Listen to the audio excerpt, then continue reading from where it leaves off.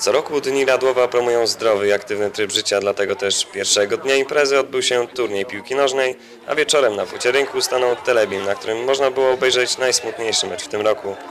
W niedzielę z kolei dużo muzyki. Na specjalnej scenie można było zobaczyć m.in. Natalię Baj z programu Mam Talent, Radłowską Orkiestrę, Leliwa Band i wiele innych. Y, To, co organizujemy Dni Radłowa, czy dożynki, które u nas są bardzo tradycyjnie i bardzo dobrze zorganizowane, mają za zadanie promować tą gminę.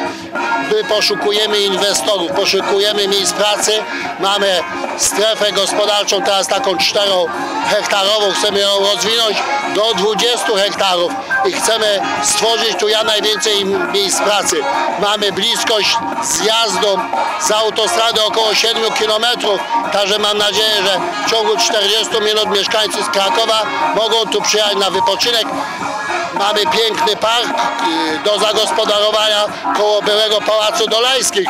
To powinno wszystko sprzyjać takiemu wypoczynkowi pełnym relaksie, ponieważ mieszkańcy są bardzo pracowici, należą mi się też momenty wytchnienia i temu służą właśnie Dni Radłowa. To już ósma edycja Dni Radłowa. Z roku na rok jest coraz więcej atrakcji. Zdecydowanie gwiazdą wieczoru był zespół Cookies i Piersi. A wszystko zwieńczono pokazem sztucznych ogni.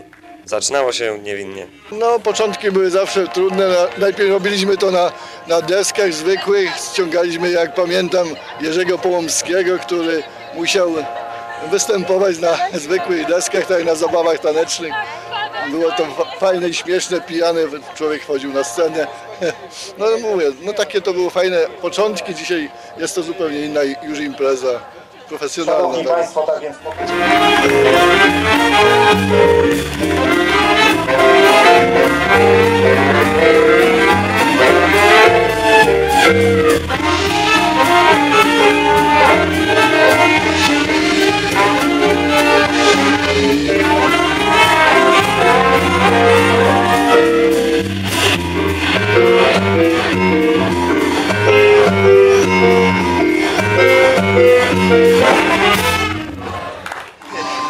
Dni Radowa super, po prostu impreza jak trzeba.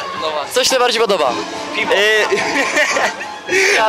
kolegę nie pokazuję, dobra? Ale nie, naprawdę jest klimat, Jest, fajni fajnie ludzie, muzyka dobra jest, fajnie się bawimy. Bardzo dobrze, super impreza, bardzo się nam podoba. Co się najbardziej podoba? Ciepło, smacznie.